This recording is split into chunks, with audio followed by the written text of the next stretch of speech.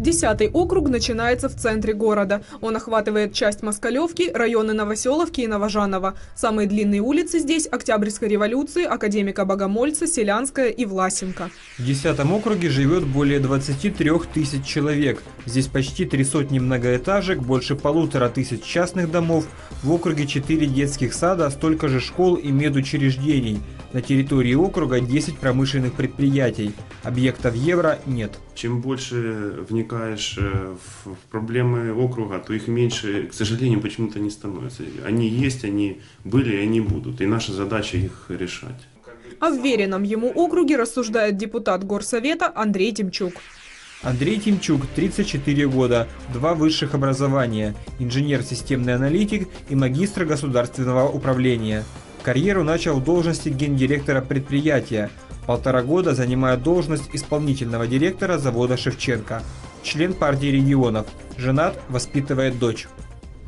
Чтобы понять, что успел сделать депутат более чем за год, отправляемся на экскурсию. Это центр округа, улица Академика Богомольца, детский сад номер 15. На данный момент времени вы можете посмотреть, вот э, сделано отопление с его участием, частичный ремонт пола сделан и 250 квадратных метров э, линолеума мы планируем постелить.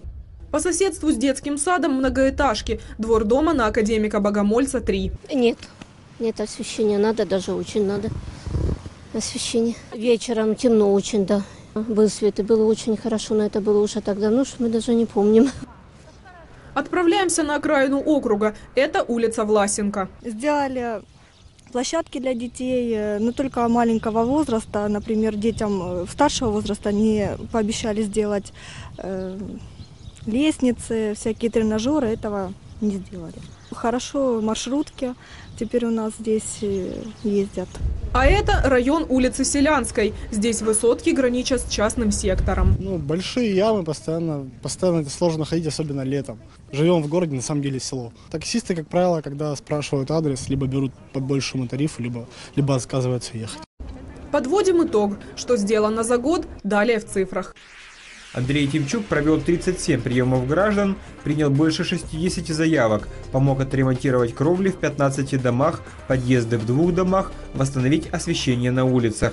Сотрудничал со школами, детскими садами, ветеранскими организациями. Оказывал материальную помощь. Помогал проводить праздники и спортивные турниры.